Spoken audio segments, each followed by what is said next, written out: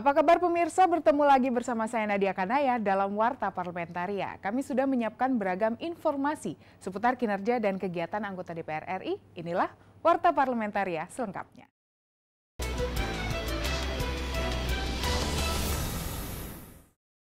Tujuh target pembangunan nasional yang dicanangkan Menko Kemaritiman dan Investasi serta Menko Perekonomian terkait pembangunan wilayah tertinggal diharapkan mampu mengurangi disparitas ekonomi antar wilayah. Ditemui dalam rapat Badan Anggaran dengan seluruh Menteri Koordinator, anggota Badan Anggaran DPR RI Mercy Kristi Barens menyatakan pembangunan wilayah kawasan ekonomi khusus di wilayah Barat dan Timur seharusnya dapat berjalan dengan seimbang. Hal ini ditunjukkan dari adanya program KEK Pulau Banda yang masih terbengkalai hingga saat ini.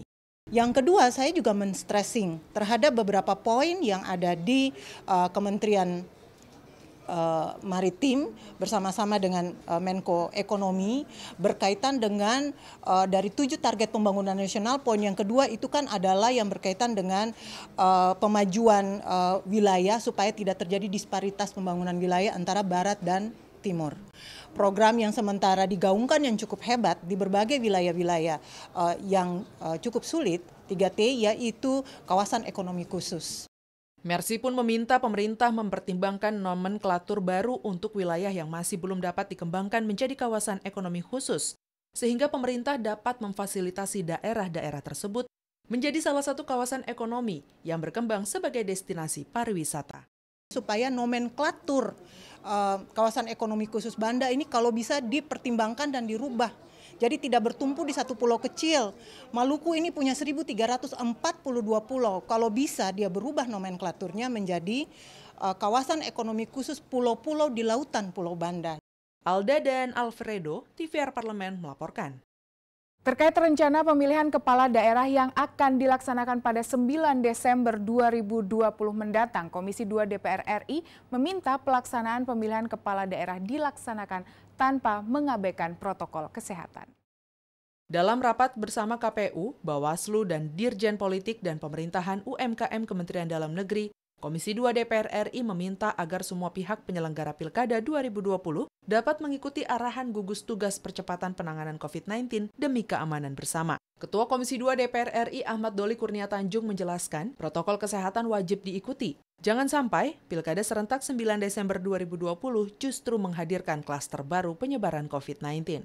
Beberapa waktu lalu kan kita berusaha untuk mengantisipasinya mengantisipasinya ya tentu dengan pertama adanya perubahan atau penyesuaian aturan-aturan ya mulai dari Perpu, kemudian sekarang sudah ada peraturan-peraturan KPU dan peraturan Bawaslu yang menerapkan protokol kesehatan COVID-19 itu.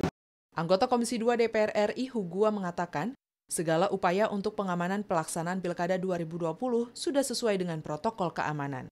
Hugua menambahkan, aturan penyelenggaraan mulai dari teknis hingga pengawasannya sudah dipaparkan secara jelas Hugo optimis pilkada dapat berjalan dengan lancar. Karena PKPU maupun Perbawaslu itu sudah memuat segala item, pasal-pasal secara teknis tentang tata cara penyelenggaraan pilkada serentak itu dan pengawasannya berdasarkan pada prinsip-prinsip protokol kesehatan dan prinsip-prinsip new normal. Nadia dan Syamsul, TVR Parlemen melaporkan. Komisi 5 DPR RI menilai program tabungan perumahan rakyat atau TAPERA saat pandemi COVID-19 tidak tepat karena TAPERA akan memungut iuran sebesar 3 persen dari gaji bulanan para pekerja di Indonesia. Anggota Komisi 5 DPR RI Suryadi Jayapurnama mempertanyakan program TAPERA di saat pemerintah menunda seluruh kebutuhan belanja modal dan dialihkan kepada belanja yang mendesak. Terlebih lagi, saat ini banyak masyarakat yang terdampak PHK dan masih harus membayar iuran BPJS. Menurut Suryadi, peraturan pemerintah untuk program Tapera seharusnya keluar dua tahun lalu. PP ini harusnya keluar dua tahun lalu. Ya, nah e, catatan kita pertama waktu yang tidak tepat. Ya, di saat masyarakat ya terbebani dengan pandemi COVID-19, kemudian juga ada kenaikan uh, iuran BPJS, nah ditambah lagi pemotongan uh, gaji ya sebesar tiga persen Anggota Komisi 5 DPR RI Sudewo menilai semangat PP Tapera sangat bagus karena dapat membantu masyarakat dalam mendapatkan rumah. Namun masih perlu evaluasi dalam implementasinya karena masih banyak masyarakat yang terbebani dengan program tersebut. Karena memang rumah tempat tinggal ini adalah kebutuhan dasar bagi warga. Tetapi dalam implementasinya itu yang harus dievaluasi Nah, itu mungkin dalam tataran PP atau kan permen yang harus dievaluasi ataukah dalam tataran teknis di lapangan karena pada kenyataannya masyarakat kecil itu justru merasa tidak terbantu tetapi justru merasa terbebani. Fitian dan Ridwan, TVR Parlemen melaporkan. Jangan ke mana-mana pemirsa, karena kami masih memiliki banyak informasi lain dalam Warta Parlamentaria, di antaranya datang dari biaya rapid test yang mahal perlu solusi. Setelah jeda berikut ini.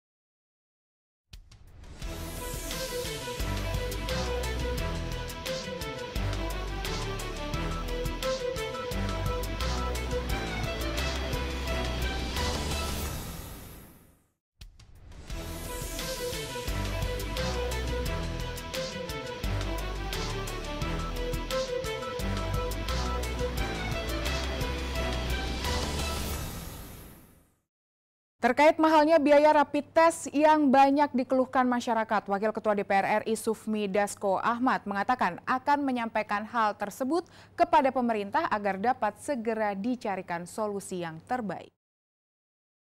Wakil Ketua DPR RI Sufmi Dasko Ahmad mengatakan DPR akan segera menyampaikan di tengah pandemi COVID-19. Masyarakat tentu harus lebih waspada dalam mengetahui kesehatannya, agar lebih tenang dalam melakukan aktivitas sehari-hari.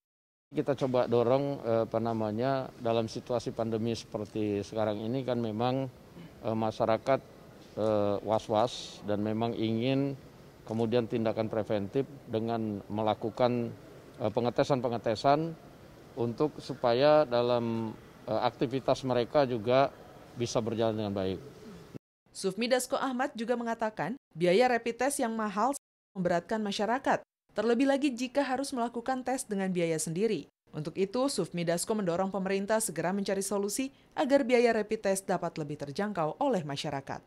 Nah, terkait dengan keluhan-keluhan dari masyarakat tentang mahalnya rapid test, kami akan sampaikan kepada pihak yang e, berwenang untuk mencari jalan keluarnya. Karena memang kalau dilakukan secara berkala, misalnya seminggu sekali atau 10 hari sekali, masyarakat dengan penghasilan tertentu pasti akan merasa berat. Karena itu pengeluaran yang kita hitung itu kan bisa untuk rapid test itu bisa ya habis 30 sampai 35 persen dari gaji kan begitu. Zikri dan Denus, TVR Parlemen melaporkan. Komisi 2 DPR RI meminta tambahan anggaran 4,7 triliun untuk pelaksanaan Pilkada serentak 2020 segera dicairkan karena berkaitan dengan penerapan protokol kesehatan dalam Pilkada serentak 2020. Komisi 2 DPR RI meminta Kemendagri segera memproses penambahan anggaran untuk pelaksanaan Pilkada serentak 2020. Ketua Komisi 2 DPR RI Ahmad Doli mengatakan, protokol kesehatan dalam Pilkada serentak harus diperhatikan dengan baik. Ahmad Doli juga meminta proses sinkronisasi data harus dilakukan dengan tepat, termasuk perhitungan kebutuhan real. Hingga nanti memang bisa bisa ditemukan angka yang pasti ya, berapa memang bantuan tambahan yang berasal dari daerah yang menyatakan komitmennya bisa membantu secara mandiri terhadap penambahan itu, mana yang memang harus di backup atau di cover oleh eh, APBN. Anggota Komisi 2 DPR RI Gaus menjelaskan penambahan anggaran yang diajukan KPU adalah untuk protokol kesehatan yang sudah dikomunikasikan dengan gugus tugas percepatan penanganan COVID-19. Untuk itu KPU harus mempersiapkan protokol kesehatan dengan maksimal agar pelaksanaan Pilkada serentak 2020 berjalan dengan aman dari segi kesehatan. Berada dalam kondisi COVID perlu dilakukan protokol protokoler kesehatan. Dengan ada protokoler kesehatan perlu dilakukan penambahan anggaran. Dan itu sudah dilakukan RDP bersama Menteri Dalam Negeri, Menteri Keuangan, dan beliau sudah mengakomodir keinginan dari KPU dalam rangka menyesuaikan kegiatan itu. Dan Samsul, TVR Parlemen melaporkan. Komisi 7 DPR RI terus mendorong pemerintah untuk mengembangkan inovasi dalam membuat vaksin COVID-19 secara mandiri. Anggota Komisi 7 DPR RI, Andi Yuliani Paris, meminta Kemenristek dan Badan Riset dan Inovasi Nasional untuk terus berinovasi dalam mengembangkan vaksin COVID-19 agar Indonesia tidak bergantung dengan vaksin luar. Cari inovasi-inovasi terkait bidang kesehatan, apalagi dengan dampak uh, adanya COVID ini, tentunya kita perlu dana uh, untuk pengembangan vaksin.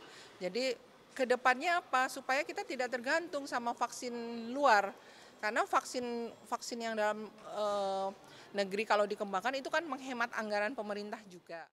Wakil Ketua Komisi 7 DPR RI Ramson Siagian menilai perlu adanya dukungan fasilitas dan penguatan anggaran dalam pengembangan vaksin COVID-19. Mengingat Indonesia memiliki banyak SDM unggul di bidang tersebut. Untuk itu Komisi 7 DPR RI akan terus mendukung upaya pemerintah dalam pembuatan vaksin COVID-19 tersebut. Eh, di satu sisi bahwa secara individu uh, cukup banyak artinya uh, masyarakat kita artinya yang punya kemampuan uh, baik dari, sisi teori dan juga praktek mengenai vaksin tinggal memberikan fasilitas dan juga anggaran tentunya agar bisa pengembangan ilmu itu bisa diaplikasikan menemukan vaksin lokal artinya itu tetap kita dukung tentunya.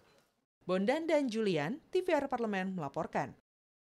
Anggota Komisi 2 DPR RI mendorong pemerintah bersama penyelenggara pemilu segera merancang pelaksanaan pemilu berbasis elektronik atau e-voting.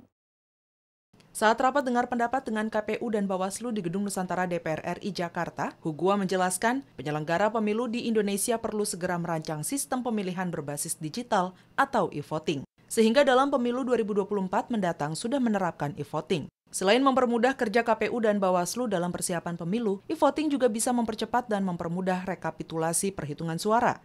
Telah mengajarkan kepada kita semua bangsa di dunia ini termasuk Indonesia untuk melek. Melek apa? Online, melek apa? Melek digital. Pemerintah juga dipaksa harus menyempurnakan infrastruktur ekonomi, eh, eh, infrastruktur komunikasi.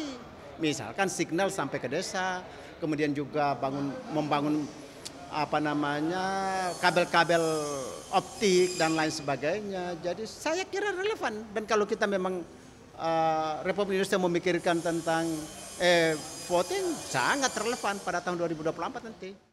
Sementara anggota Komisi 2 DPR RI Endro Suswantoro mendorong KPU menggunakan metode pemilihan e-voting secara asimetris atau campuran. Pasalnya, masih banyak wilayah di Indonesia belum memiliki infrastruktur telekomunikasi dan sumber daya manusia yang belum memadai khususnya di daerah 3T. Mana daerah yang siap ya pakai pakai e-voting, tapi yang enggak, eh, yang enggak ya enggak bisa. Umpamanya hanya persoalannya kan uh, ini nggak serius, penyelenggara pemilu ini nggak serius, bisnis as usual itu. Mustakim dan Syamsul, TVR Parlemen melaporkan. Pemirsa, kami masih memiliki banyak informasi lain dalam Warta Parlamentaria, tetaplah bersama kami.